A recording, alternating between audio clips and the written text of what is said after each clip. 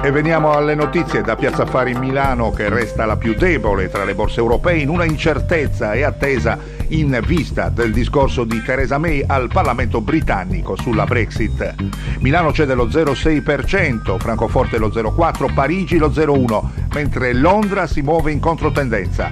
Inverte la rotta e sale dello 0,2% con la sterlina che recupera terreno su tutte le valute. Lo spread BTP Bond si muove attorno ai 250 punti base. Su Piazza Affari pesano Enel al meno 2,6% e Snam al meno 2,1%, penalizzate dallo stacco della cedola. Giù anche Ferragamo al meno 2,2% e Tim che si attesta al meno 1,7%, penalizzata da Intermonte dopo la revisione dalle stime e il giudizio negativo dell'Agicom allo scorporo della rete.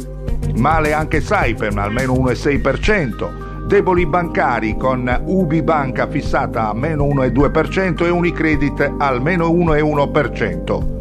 Dall'altra parte del listino si mettono in luce Juventus che chiude al più 3,7%, Ricordati al più 2,2% e Leonardo al più 1,5%.